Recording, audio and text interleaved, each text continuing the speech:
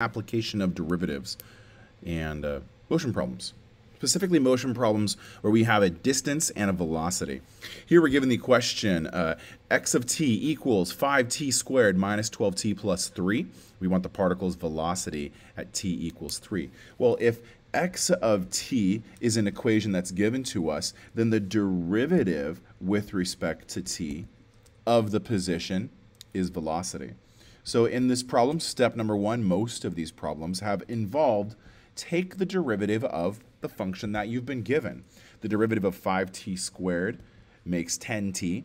The term minus 12t has a derivative of minus 12, and then the derivative of 3 is 0. So what we're really looking for is that if this is the velocity function, what is its value at t equals 3? As in, the velocity of 3 is 30 minus 12, 18. So I'm going to record that result. Now, next up, what is the direction of the particle's motion? Well, velocity here we found to be positive. At t equals 3, the velocity is positive, so therefore the particle is moving on the x-axis. It's moving to the right. And select it and check it. Well, check it. Hey, stick around for part two.